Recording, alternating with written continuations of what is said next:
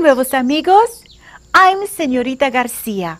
How is everyone doing today? I hope you're doing well. We will be learning something very important today manners. It's important to use good manners and be polite.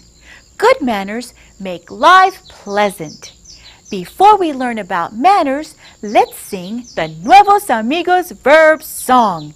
Can someone tell me which verb we learned in our last lesson? Indicar. You're correct, boys and girls. Muy bien, niños y niñas. Our new verb is abrazar. Repeat after me. Abrazar. Abrazar means to hug. I like to give hugs, don't you? Now we're ready to sing the Nuevos Amigos verb song using the verbs indicar and abrazar. Let's begin. Hola, hola, los amigos, los amigos, los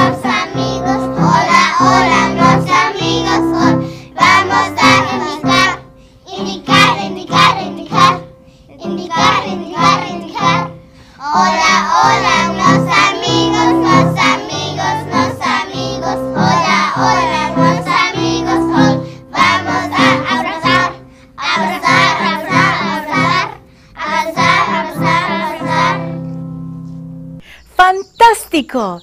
You're doing such a lovely job when you sing the verb song. Nuevos amigos, I just gave you a compliment. A compliment is a way to praise someone or tell them that they did a good job. When someone gives you a compliment, it's good manners to say thank you. In Spanish, the word for thank you is gracias. Repeat after me. Gracias. Very good. Now say it with me. Gracias. You've heard us say gracias many times during our lessons. When someone says gracias because you did something nice for them, you can say back to them de nada. De nada is the Spanish phrase that means you're welcome. Let's say it together. De nada. One more time. De nada. Excelente. Sometimes you need a friend to do something for you. When you ask them to help you, it's good manners to say please. The Spanish phrase for please is por favor. Say por favor with me. Por favor. Muy bien. Let's look at an example of how you can use your good manners and say por favor, gracias, and de nada. Please, thank you, and you're welcome. Dame una manzana, por favor. Gracias. Can you see how easy it is to be polite and use good manners? I can. Have you ever been at school and needed to get past a group of people in the hallway? You don't want to be rude and push your way through the group. What do you do? You can say con permiso to the group. Con permiso means excuse me. Say con permiso with me. Con permiso. Let's say it again. Con permiso. Bien. When you say con permiso, the group should let you go by and you can keep walking down the hall. Now, imagine that you are in a group that's blocking the hallway. Someone comes along and says, con permiso. You can help them by moving out of the way and saying, pase usted. Pase usted means come by or come through. Let's say pase usted together. Pase usted. Again. Pase usted. Excelente. Here's an example of how you can use con permiso, and pase usted. My favorite color is blue. What's your favorite color? My favorite color is pink. Con permiso. Pase usted. Gracias. De nada. See how easy that was, nuevos amigos? You can also say pase usted when someone knocks on your door at home and you want them to come in. Pase usted. Come in. Good manners do make life better. You know, I wonder what's going on with Juanita and Taco. Taco, what's wrong with your head? You have a band-aid on. I was playing with my amigos and I fell and bumped my head. Oh, let me give you un beso. A what? Un beso. That means a kiss. Repeat after me, everybody. Beso. Beso. So let me give you un beso to make you feel better, Taco. Okay. Mwah. There. How does that feel? A little better. Let me also give you un abrazo. What's that? Un abrazo means a hug. Repeat after me. Abrazo. Abrazo.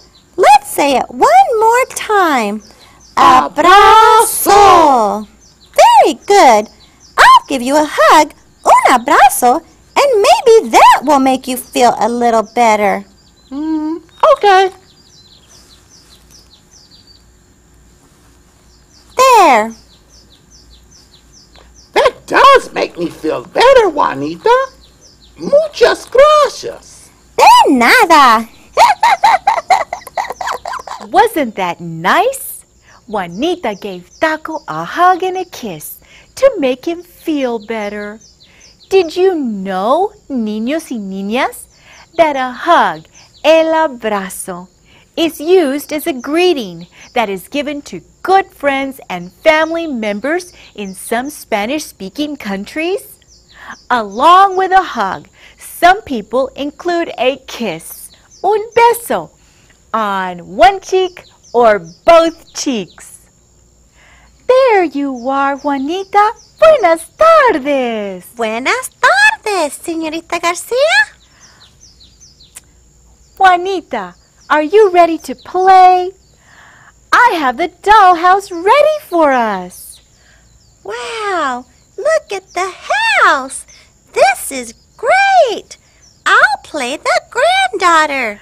And I'll be the grandmother on vacation. I'll come visit you at your house. Okay.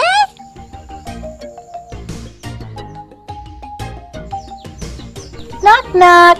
Who is it? It's me, Grandmother Garcia, Abuelita Garcia. Grandmother is here. Pase usted, por favor. Come in, please. Sí, gracias, Juanita. De nada. You're welcome. ¿Cómo está usted? Bien, ¿y tú? Muy bien. I've been waiting for you to get here so we can bake a cake. That sounds wonderful, Juanita. But I'm a little tired. I'd like to take a siesta first. Con permiso. Excuse me. Okay, grandmother. Your room is upstairs. Enjoy your siesta and I'll see you in a little while. Gracias.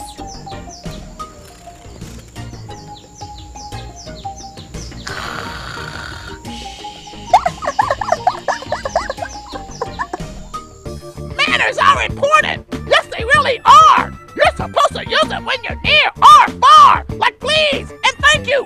They're the magic words for all the boys and girls and even the birds. Quack, quack. Hey, that was fun. Let's do it again. Manners are important. Yes, they really are.